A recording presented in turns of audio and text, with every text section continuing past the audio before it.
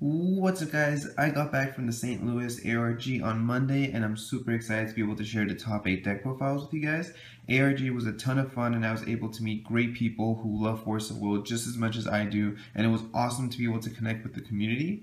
That being said, let's start the countdown from number 8 with Eric Schreiber's Liberator of Wind deck profile.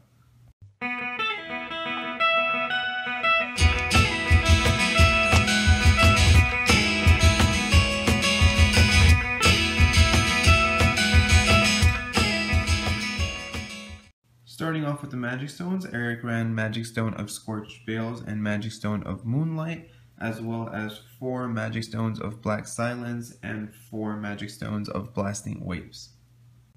His Resonator lineup is actually really interesting. He runs four Gretel and four Fiethsing, but no Elvish Priests, four Oz, the Great Wizard, and three Carmilla, and that's all of his Resonators.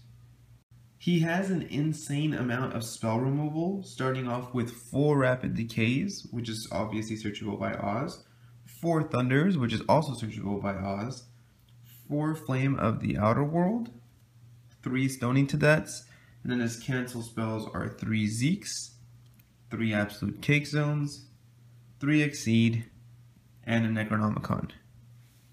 Lastly, for his side deck, he ran 3 Elvish Bowmans, one extra Carmilla, two Blazers, three Spiral of Despair, three stories told in 1001 Nights, an extra Exceed, an extra Absolute Cake Zone, and an extra Xeex's.